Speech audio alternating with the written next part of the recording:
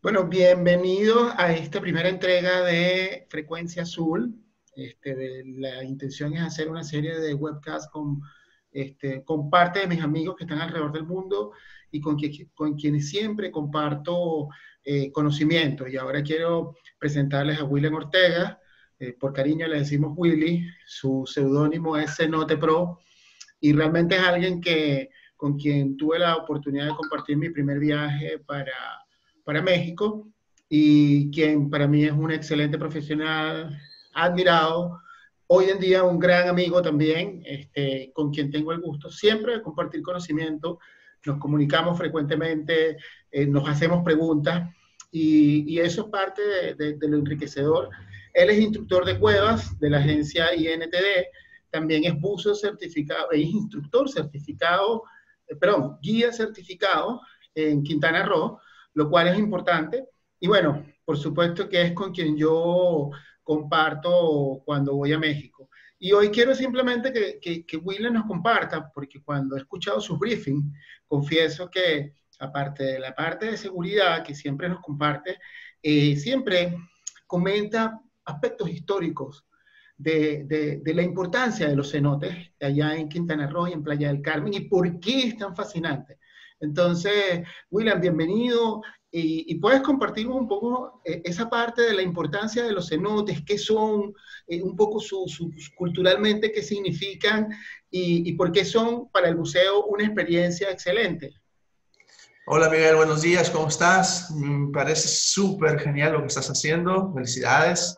Y sí, qué bien que estamos compartiendo esto contigo y, y esta anécdota y, y y reunirnos de esta forma es increíble. Además, ahora con la cuarentena es mucho más eficiente ¿no? todo, este, todo este tipo de proyectos. Mira, eh, bien decías, los cenotes son muy importantes para, para el lugar. Bueno, ¿cómo se formaron? Vinieron viendo un, una serie de, eventos naturales, que eso fue la razón que se hicieron los cenotes hay, hay un, par de historias, un par de, de, formas que piensan los, los, los, los eh, geólogos que se formaron. Uno dicen que son los meteoritos, otro que la disolución. Eh, las dos, las dos este, teorías son válidas, nada más que todavía no tenemos la certeza al 100% cuáles fueron las dos formas que se, que se formaron los cenotes. ¿no?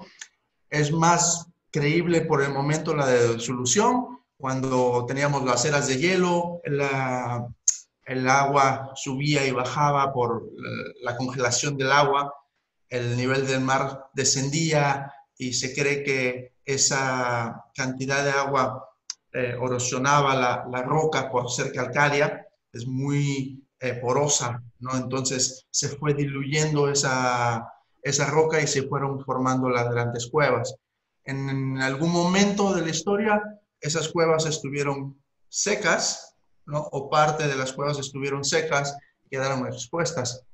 Entonces ahí en la lluvia, con, con, con los eventos que fueron pasando en el mundo, eh, la acidez del agua, la cantidad de lluvia que caía, fueron haciéndose las formaciones, ¿no? La, las estalagmitas, las estalactitas y las columnas, ¿no? Eh, los, los, investigadores creen que las, las formaciones crecían o, o, descendían más o menos un centímetro cada 100 años, ¿no? Eh, sí, es un montón.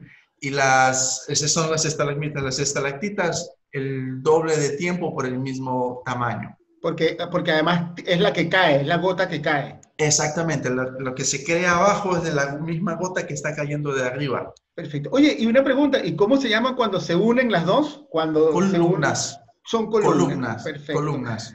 Oye, y, y, para, ¿por qué la cultura maya? O sea, ¿qué importancia tuvo o ha tenido eh, eh, eh, culturalmente eh, los cenotes?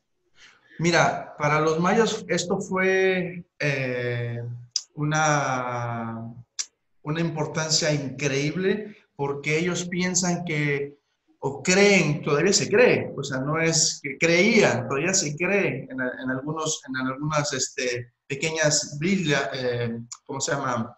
eh, asentamientos mayas, que, que es, el, es la puerta al inframundo. Ok. ¿No? Eso es una, eso es una, es una creencia muy antigua, muy, muy arraigada en los mayas, que ellos creían que esa es la entrada al mundo de los dioses. Mira, y actualmente si alguien quiere, obviamente estamos ahorita en una etapa de cuarentena, pero esto se va a levantar.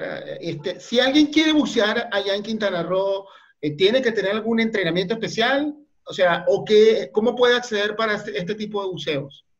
Eh, mira, Miguel, en, la, actualidad solamente se te pide que seas buzo de aguas abiertas y vamos a bucear en, en cavernas, ¿no? que son lugares eh, cerca del, del, agua abierta, tenemos ciertas limitaciones, ¿no? Siempre nosotros como profesionales tratamos de ir primero al, a los lugares más fáciles, más sencillos, para que la gente agarre confianza, sepa qué es lo que es, y de ahí pues ya eh, vemos la, el nivel de cada buzo y decidimos qué podemos hacer con ellos. Perfecto. Oye, bueno, yo les tengo unas anécdotas, eh, de verdad, con William ya nos hemos visto varias veces, eh, pero hay dos cosas geniales. Una de ellas es que siempre nos lleva a comer a lugares autóctonos eh, y terminamos este, disfrutando de una gastronomía eh, de la zona. Yo me gusta el picante y una de las veces que fui había como cuatro tarros de picante y pregunté por el menos picante y terminé llorando. Sí, me acuerdo de eso. este, William, oye, si, eh, si la gente quiere ver un poco de tu contenido, lo que haces, ¿a través de qué medio, de cuáles son tus redes sociales, las puedes compartir para que puedan contactarte, puedan hacerte preguntas? Por supuesto, mira, yo estoy en Facebook y en Instagram como Cenote Pro, ¿no? Así tal cual, Cenote Pro, ¿listo? Y eh, me encuentran, ¿no?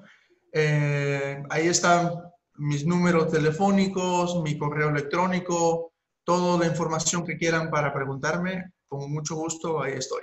Perfecto. Oye, muchísimas gracias. La intención es hacer estos eh, pequeños videos cortos, pero por supuesto que te seguiré este, contactando para compartir tips de profesionales. Les confieso que todo este tema del trim, de, la flotabilidad, del curso de Extreme Buoyancy que yo doy, con, con, alguien con quien lo he compartido mucho ha sido con William, porque todo esto viene del buceo en cuevas, donde ellos tienen un manejo extremo de, de su rendimiento bajo el agua, porque una, simplemente no pueden tocar fondo, no pueden levantar sedimento, porque ponen riesgo, porque pueden sufrir accidentes, porque pueden romper una estalactita que tiene 3 mil millones de años. Eh, y bueno, mucho lo he compartido con él y, y, de hecho lo seguimos haciendo. Tenía un viaje programado para Chile ahorita para mayo.